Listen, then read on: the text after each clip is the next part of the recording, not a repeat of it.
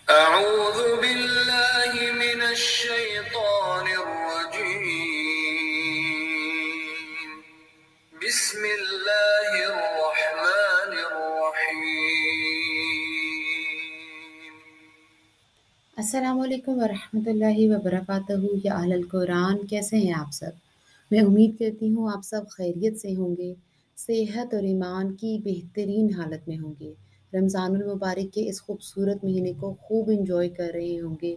अल्लाह सुबहान ताला से दिल की खूब सारी बातें कर रहे होंगे गुनाहों पे तोबा कर रहे होंगे बख्शिश तलब कर रहे होंगे और अपने अल्लाह को राज़ी करने की हर मुमकिन कोशिश में लगे हुए होंगे। ज़िंदगी में आने वाली मुश्किल पे, मुसीबतों पे, बीमारियों पे मुस्कुराते हुए कह रहे होंगे अल्हम्दुलिल्लाह नथिंग टू कंप्लेन अल्हम्दुलिल्लाह व मा तौफीकी इल्ला बिल्लाह। हमने दौरा कुरान पाक 2023 का आगाज़ किया और अल्लाह की तौफीक से, उसकी मदद से, उसकी रहमत से आज हम पढ़ेंगे पारा नंबर 28 क़द समी अल्लाह और जानेंगे क्या हैं अल्लाह सुबहान ताला के पैगामात और अहकामात हमारे नाम। नहमदहु व नसोली अला रसूलिहिल करीम।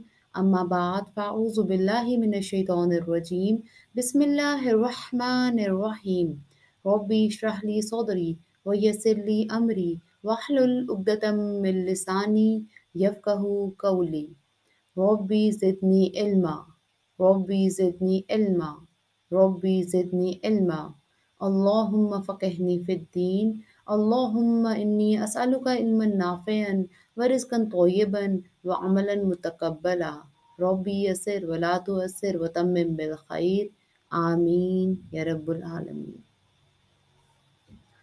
इंसान पूरी ज़िंदगी अपने और अपने घर वालों के लिए अपने औलाद के लिए माँ बाप के लिए बच्चों के लिए बीवी के लिए शौहर के लिए अपने अहलो अयाल के लिए हर वक्त फ़िक्र करता रहता है उनके लिए बेहतरीन प्रोवाइड करने के लिए कमाने की बेहतरीन कोशिश करता है बच्चे जो हैं, जो छोटे हैं, वो पढ़ने लिखने की बेहतरीन कोशिश करते हैं ताकि वो कल किसी मकाम पे पहुँच जाएँ।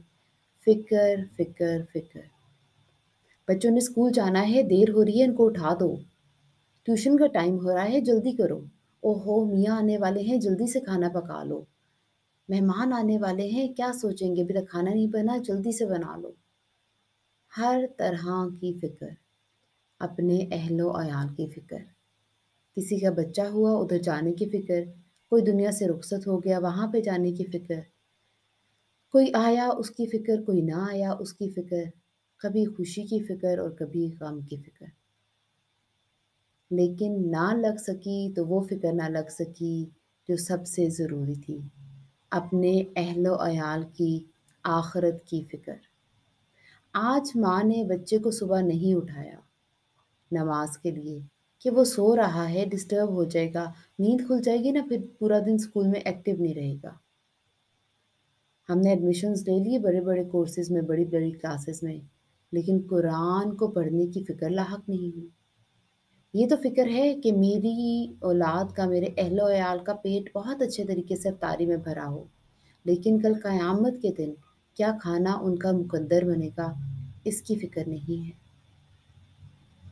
आज हम दुनियावी फ़िक्रों में इतने घिरे कि हकीकी फ़िक्रों से हम बिल्कुल गाफिल हो गए। अल्लाह सुबहान ताला ने हमें इस दुनिया में भेजा उसकी इबादत के लिए। उसके बाद बहुत से रिश्ते हमसे बाँध दिए। जिनके फ़र्ज़ पूरा करना, जिनकी ज़िम्मेदारियाँ पूरा करना हमारे लिए बहुत ज़रूरी है। लेकिन आज हमने सिर्फ़ उनकी ज़ाहरी ज़रूरतों को पूरा करने की फ़िक्रें ठान ली। लेकिन आखिरत की फ़िक्र ना की।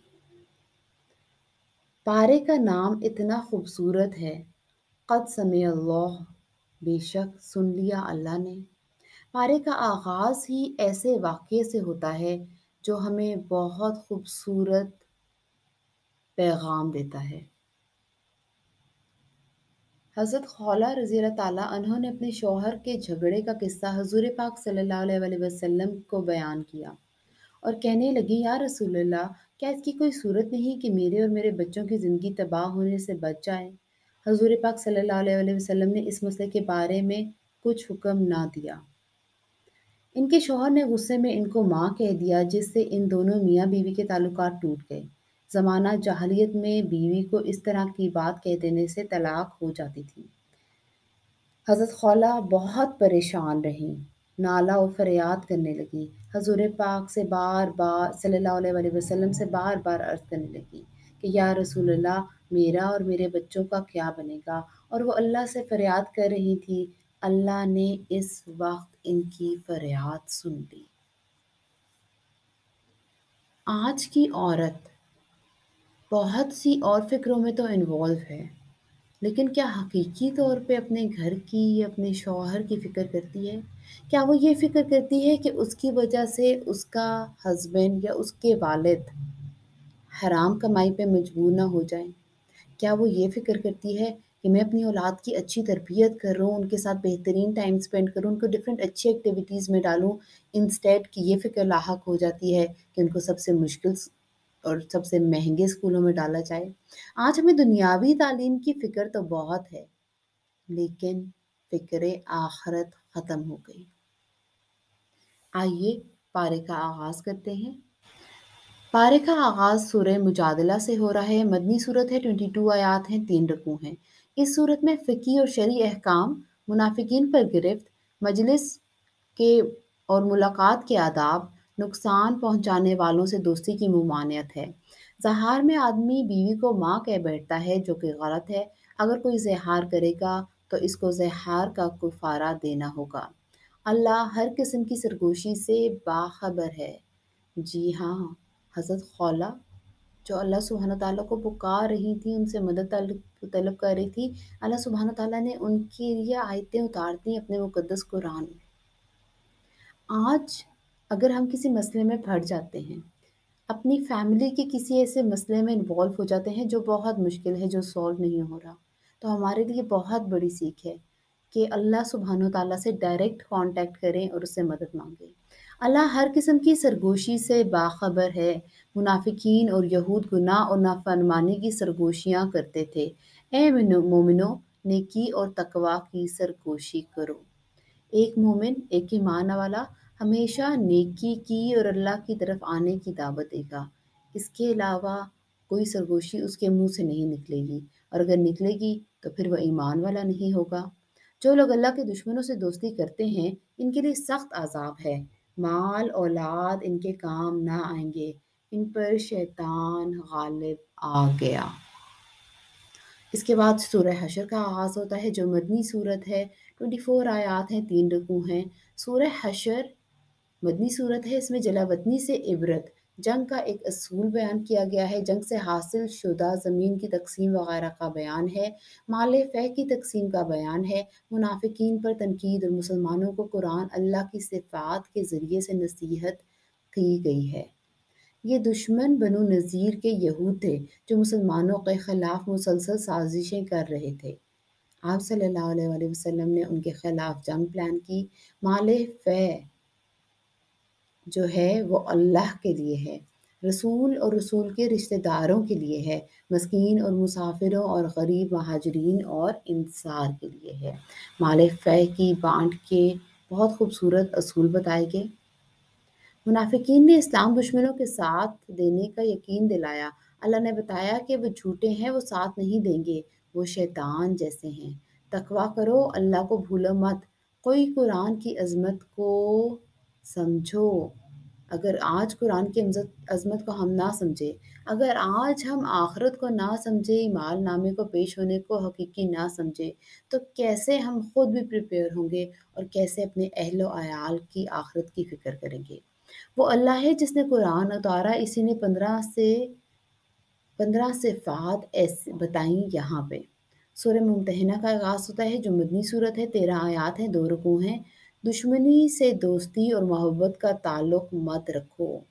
जी हाँ दुश्मन से दोस्ती और मोहब्बत का ताल्लुक बिल्कुल नहीं रखना। अलबत्त आम गैर मुसलमानों से एहसान का सलूक करने से मना नहीं है। दुश्मनों को दोस्त ना बनाओ, तुम्हारा नुकसान करेंगे। जिन्होंने तुमसे लड़ाई नहीं की, इनके साथ अच्छे सलूक से कोई ममानियत नहीं। औरतों की बैत रसूल सल्ला वसल्लम से इस पर कि वह शिरक चोरी, बदकारी और अपनी औलाद को कत्ल ना करेंगी और ना बहुतान तराशेंगी सूर्य सफ का आगाज़ होता है जो कि मदनी सूरत है। चौदह सिफात हैं, दो रकू हैं। इस सूरत में खिताब इन मुसलमानों से है जो नबी सल्लल्लाहु अलैहि से समा और तात का अहद कर चुकने के बाद अल्लाह की राह में माल और जान के जहाद से जीत चुरा रहे थे। तीसरे हिस्से में हम देखते हैं, कैसे बनी इसराइल जैसे ना बनो। अल्लाह वार्न कर रहा है कि उन जैसे ना बनो। उन्होंने मूसा सलाम को तकलीफ़ दी। ईसा अलैहिस्सलाम को झुटलाया। अल्लाह सुबहान तआला ने इनसे हिदायत की तौफीक छीन ली। मोमिनो, अजाब से निजात की तजारत करो। अल्लाह सुबहान तआला के रास्ते में इन्फाक करो और यही इन्फाक इन अजाब से निजात देगा। इसके बाद सूरह जुम्मा शुरू होती है। जो मदनी सूरत है, ग्यारह आयात हैं, दो रुकू हैं। इसमें यहूदियों से खिताब है और जुम्मे से मुतलिक अहकाम हैं। अल्लाह ने उम्मियों में रसूल सल्लल्लाहु अलैहि वसल्लम को भेजा जो यहूद को गवारा ना हुआ। यहूद ने तो रात का हक अदा नहीं किया, अल्लाह के वली होने का दावा किया। नमाज़ जुमा का हुक्म मिलते ही जुमे का वक्त हो तो फ़ौर ही चल पड़ो और बाद में ज़मीन पर रिस्क के हसूल के लिए फैल जाओ। चौथे हिस्से में हम देखते हैं कि हार जीत का दिन एक है। इस दिन सिर्फ़ ईमान और अमल सौले ही फ़ायदा देगा। सूरत तलाक का आगाज़ होता है, जो मदनी सूरत है। बारह आयात हैं, दो रकू हैं। इसमें तलाक के बारे में अहम हदायत हैं। अगर तलाक और इद्दत ख़त्म होने के करीब हो तो तुम मरूफ तरीके से इसको रोक लो या छोड़ दो। जो तकवा इख्तियार करेगा, अल्लाह इसके लिए रास्ता निकाल देगा। काम आसान कर देगा, गुनाह दूर कर देगा, बड़ा अजर देगा। कई कौमों ने सरकशी की। तो अल्लाह ने अजाब दिया, इसलिए रसूल सल्लल्लाहु अलैहि वसल्लम की कदर करो। इसके बाद सूरत तहरीम का आगाज़ होता है, बहुत खूबसूरत सूरत है, लेकिन बहुत बड़े लेसन्स के साथ है, मदनी सूरत है, बारह आयात हैं, दो रकू हैं। इसमें मियाँ बीवी के ताल्लुकात और साथ ही अल्लाह की हदूद के लिहाज करने की हिदायत है। कोई रिश्ता अल्लाह के पकड़ से नहीं बचा सकता और अल्लाह की रज़ा से रोक सकता और ना ही अल्लाह की रज़ा से रोक सकता है। इसलिए नूह और लूत और फ़िरौन की बीवियों की मिसालें दी गईं। नबी सल्लल्लाहु अलैहि वसल्लम और अजवाज मुतारात को नसीहत, हलाल को हराम न किया जाए। शौहर के राज की हिफाजत की जाए। मोमिनो, जहन्नुम से बचाओ। अपने आप को, अपने घर वालों को जहन्नुम का ईंधन, आदमी और पत्थर हैं। जी हाँ हमने खुद भी बचना है और अपने घर वालों को भी बचाना है। खालिश तोबा करो। उम्मीद है तुम्हारा रब तुम्हारे गुनाह माफ़ कर देगा और तुमको बागात में दाखिल करेगा। आइए पारा पॉइंटर्स देखते हैं। सूर्य मुजादला से आगाज़ हो रहा है। जहार और कुफारे का बयान है। नजवा के अहकाम है अहकाम है। नुकसान दे दोस्ती करने से परहेज़ करने को कहा गया है। सूर्य हशर का आगाज़ होता है। अल्लाह ने निकाला दुश्मनों को। बताया गया है, माल फैकी तकसीम के अहकाम हैं। दूसरे हिस्से में मुनाफिकों की हरकत के बारे में बताया गया है। अल्लाह का तकवा करो सूर मुमतना शुरू होती है, दुश्मनों को दोस्त ना बनाओ अच्छा सलूक मना नहीं है, उनसे एहसान करो लेकिन दोस्त ना बनाओ। औरतों की बैत का ज़िक्र है, इसके बाद सूर्य सफ का आगाज़ होता है, बनी सरीन जैसे ना बन जाओ सूर्य जुम्मा उम्मी तो रात, जन्नतें, नमाज़ जुम्मा का हुक्म। सूर्य मुनाफिकून, मुनाफिकीन और मुनाफिक और उनकी इलाज। सूरत तगाबन, अल्लाह मालिक, खालिक, अलीम है।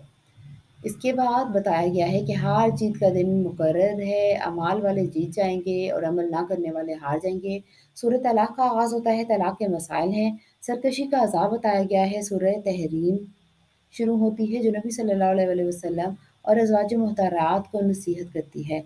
मोमिनो जहन्नुम से बचाओ, खुद को और अपने घर वालों को। अमल की बातें। नेक औरतों की खूबियाँ पैदा करनी हैं। खुद को इतना नेक, इतना काबिल बनाना है कि अल्लाह का गुर्ब हमें भी हासिल हो। नजवा शैतान का प्रोपोगंडा है, हथकंडा है, इससे दूर रहना है, इंसौरल्लाह बना है। दीन के काम में वैसे भी अल्लाह के हर हर काम में अल्लाह की मदद करनी है, उसकी राह में खर्च करना है, ढेर सारा इन्फाक करना है। ख्वाहिशात से ऊपर उठकर ज़िंदगी गुजारनी है। अल्लाह की राह में ख़र्च करना है। इससे पहले वो कहाँ से चला जाए? ख़ुद को अहलो आयाल, खुद और अहलो आयाल को जहन्नुम से बचाना है। आज की दुआ बहुत ही खूबसूरत दुआ है।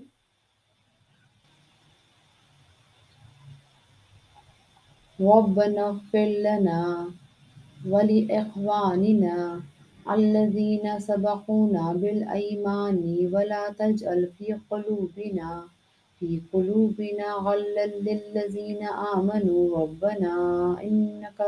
रऊफ़ रहीम ए हमारे रब हमें और हमारे इन भाइयों को बख्श दे जो हमसे पहले ईमान लाए हैं और हमारे दिलों में ईमानदारी की तरफ से कीना कायम ना हो पाए और ए हमारे रब बेशक तू बड़ा मेहरबान निहायत रहम करने वाला है